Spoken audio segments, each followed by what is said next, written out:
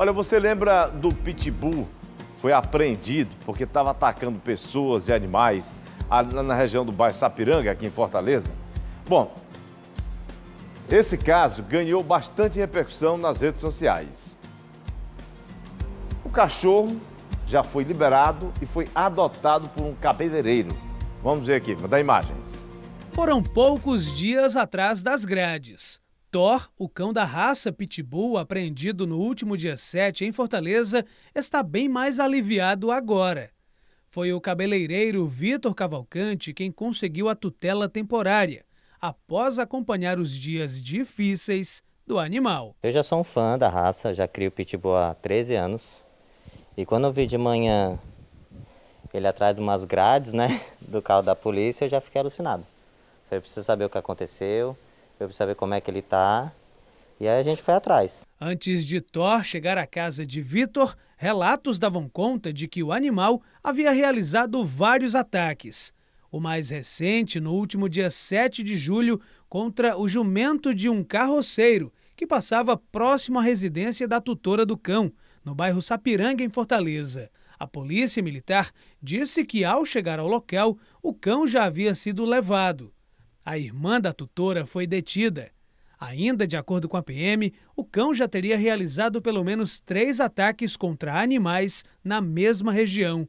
Acompanhando as notícias, Vitor, que tem outros cachorros de estimação, entrou na disputa para ser o tutor. A raça é uma das mais dóceis que existe. Isso é é comprovado, qualquer veterinário que entende da raça sabe que é a raça é mais dócil. Porém, eles são fortes. O apoio para tirar Thor da Unidade de Vigilância de Zoonoses veio do deputado federal Célio Studert, que passou a ser o fiel depositário, como explica o assessor jurídico do parlamentar. Nós fizemos, né, de antemão, conversamos com as autoridades policiais, é, apresentando o nosso desejo de ficarmos como depositários fiéis do Thor, né, a fim de que nós guarnecêssemos o quanto antes a, a, a sua questão.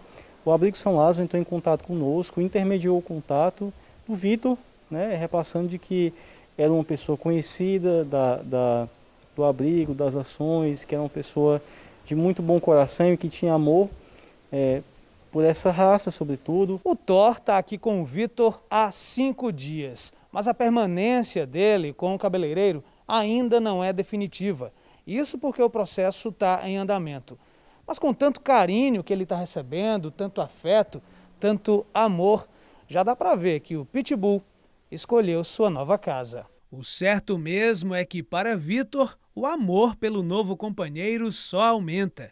E se depender dele, é aqui que o Thor vai ficar para sempre. Olha, acredito que sim.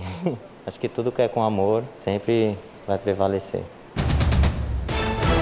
Olha, esse cão mostrou uma agressividade muito grande antes, não é? Então fica também a dica aí, porque esse cão é um cão muito forte e pela lei ele tem que andar com focinheira na rua, não é? Então se ele já atacou alguma vez, ele pode surpreender o dono aí andando na rua e atacar novamente. Então todo cuidado é pouco, não é? Esse cão vai para uma fase de adaptação, tem que tomar cuidado. A gente vê aí, ó, muito dócil, não é? Ele tá ali num momento muito dócil, mas se ele foi treinado para atacar outros cães, pode ser que instintivamente ele, num determinado momento, resolva atacar alguma pessoa, algum outro animal no meio da rua. Por isso, a prudência manda que ande com ele na rua com focinheira.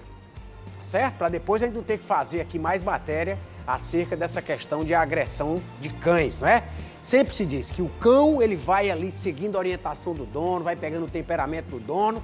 Se ele for aí ah, cuidado, não é, tratado com carinho, ele não ficará mais agressivo, perderá parte dessa agressividade contra outros animais. Bom, vamos lá para outro assunto. Olha, gente, moradores do bairro Couto Fernandes procuraram